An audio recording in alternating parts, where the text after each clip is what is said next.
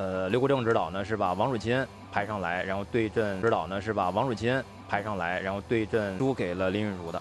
所以当他得到这输给了林允如的，所以当他得到这平昌亚锦赛男团决赛，中国男团和中国台北迎来了一场冠军争夺战。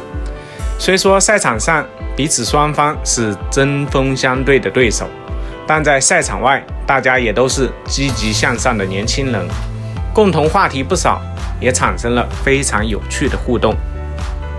在男团决赛后场区，接下来的对手们挨个登场了。林云儒、黄彦成、杨子怡和高承瑞几个人提前很早就来到了后场区，他们也在为随后的比赛做准备。在同辈的朋友面前，林云儒显得很慵懒，直接靠在了旁边的铁门上。这时，四十二岁的老将庄智渊突然霸气地走了过来，吓得小伙子们立刻挺直了身体。好像班主任查岗了一样，林云儒也赶紧站直身体，立刻精神抖擞起来了。接下来是中国队的入场，梁靖昆一进来就默默地找位置坐下了，而林高远则双手插兜，摇头晃脑，晃晃悠悠。等王楚钦入场后，他在登记好信息以后，直接靠到了林云儒边上。开始跟好友闲聊，这时林高远也双手插兜，慢慢地晃荡过来了。三人聊得热火朝天，林云儒一脸娇羞，林高远居然直接上手了，来了一次捏脸杀。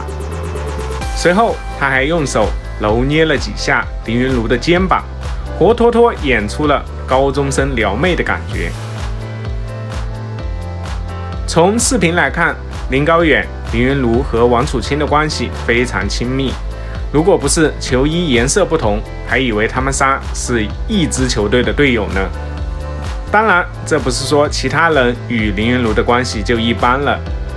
在赛前候场时，有些运动员比较内敛沉静，喜欢独处一阵，不喜欢说话，努力找到自己的状态。比如梁靖昆和樊振东。